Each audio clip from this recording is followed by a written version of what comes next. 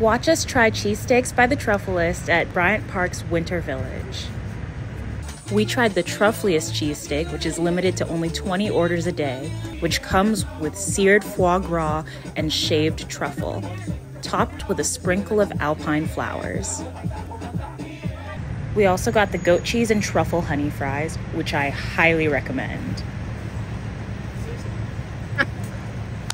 The dance. The cheesesteak is made with shaved ribeye and topped with raclette cheese.